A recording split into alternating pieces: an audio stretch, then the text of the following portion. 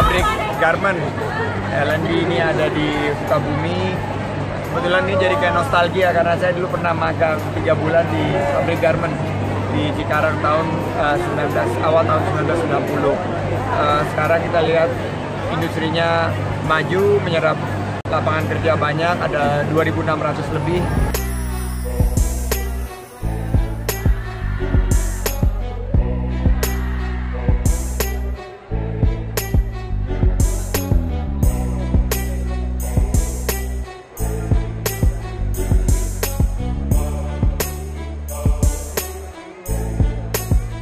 Dan saya berharap di bawah Prabowo Sandi kita akan permudah perizinan, kita pangkas birokrasinya.